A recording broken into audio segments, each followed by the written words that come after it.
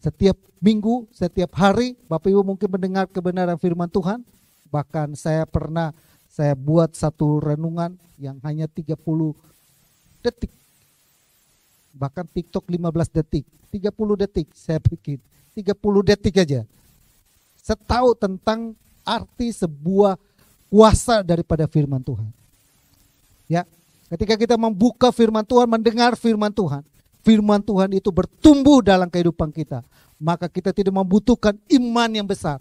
Kita hanya membutuhkan iman sebesar biji apa? Sesawi. Udah pernah lihat biji sesawi? Pernah lihat belum? Saya juga belum lihat. Tapi di kampung saya ada satu biji juga sama seperti itu, kecil banget. Saya kampung bilangnya botok, itu udah hilang. Kemarin nanya ke kakak saya, dia sama seperti wijen apa? Biji wijen ya, ah, wijen itu kan. Tapi ini lebih kecil lagi dari itu.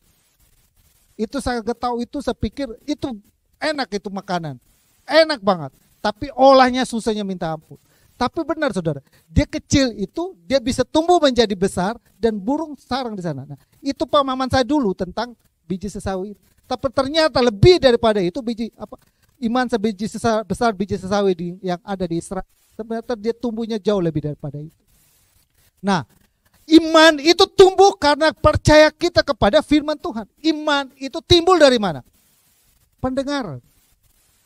Maka gak heran saudara, Zaman dulu ayat Alkitab yang Roma, iman timbul dari apa? Pendengaran. Sekarang saudara, zaman dulu itu orang itu baca, nggak ada yang mendengar. Tapi zaman sekarang ayat itu digenapi.